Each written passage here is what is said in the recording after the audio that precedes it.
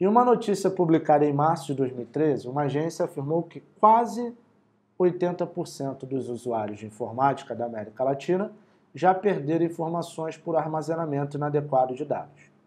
Supondo-se que essa razão correspondesse a 150 milhões de usuários, teríamos como usuários de informática na América Latina um número aproximado de pessoas correspondente a milhões a. Galera, como é que vocês sabem que o problema é de porcentagem? A questão vai falar. E essa daí falou, ó, 150, já deu pronto. Ele falou que 150 milhões corresponde a 80%, porque ele falou aqui, ó, que 80% dos usuários corresponde a 150.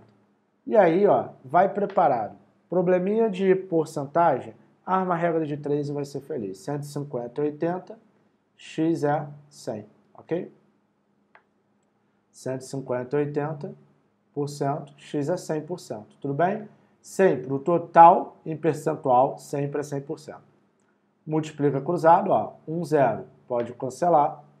8 vezes x é 8x, 150 vezes 10 dá 1.500. Então, x é 1.500 divididos por 8. Fazendo essa conta, vai dar 187,5. Então, qual é o meu gabarito? Letra A. Beleza? Então, zero trauma